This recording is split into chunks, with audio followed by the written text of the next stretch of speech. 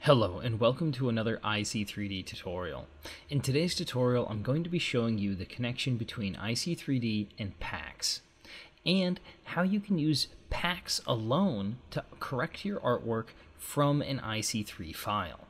Now to get started you're going to want to have your bottle and shrink wrap pre-made using IC3D's shrink wrap template and from there you're going to want to save that out as a .ic3 file close IC3D, and open PACKZ.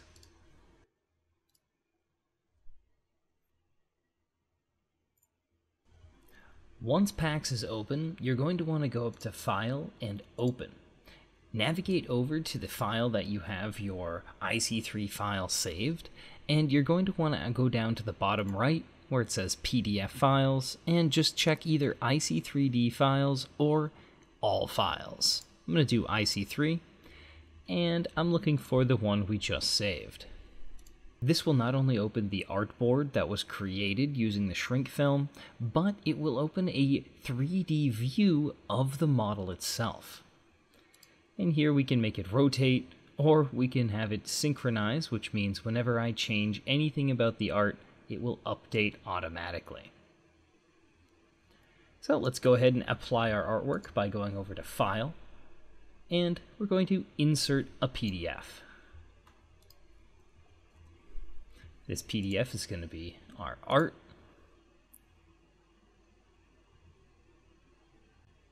And that should place right into the center. From there, as you can see, it's going to automatically update across to our 3D view, so we can take a look at which areas we'd like to correct. Now this side panel is looking a little, little worse for wear and maybe even this back panel. And definitely this small strip up here at the top. Once we've found the areas we wish to correct, all we have to do is select it per object, not the whole art itself. This allows for better corrections and more accurate results. So let's go ahead and uh, I'm going to go into my PDF layers and I'm just going to uh, lock the background so I don't grab any of the pieces over here as I do my side panel. Let's zoom into the side panel.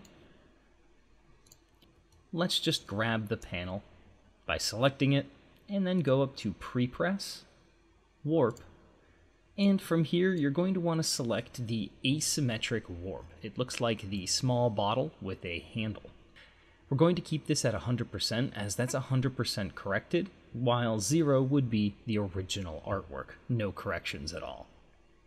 From here, I'm going to hit Warp. And as you can see, that should go through and warp my artwork. Now it will not only warp the art for us, but we can then see the result real time in our 3D viewer, so we can make any changes or maybe drop the distortion a little if it's a slightly too distorted. Let's go ahead and move to the back. Let's Go down and just use fit to artwork so I can see it all. And then we're going to zoom into the art and grab the whole panel. From here, we're warping it once again at 100%. And there it goes. And again, we should see that instant result right onto our 3D viewer. That's looking great.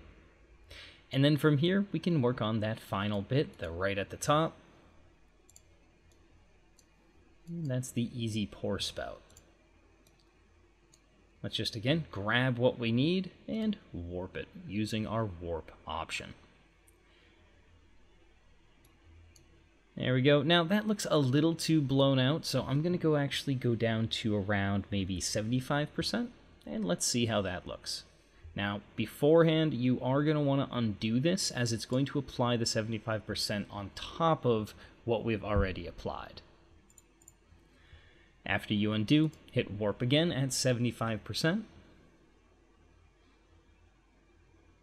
And that's looking much better. Excellent. Now from there, we are ready to go. So we can go ahead and fix any other pieces of art that we need to, or we can send this off to the press to be printed.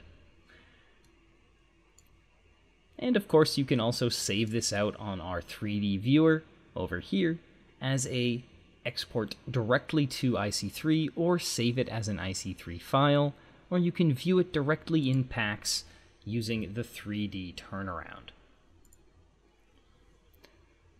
A lot of flexibility comes when using PACKZ and IC3D together. As you can see, both applications are wonderful for not only the creation of the 3D model, but opening up and making sure that all of your artwork is corrected and ready to go.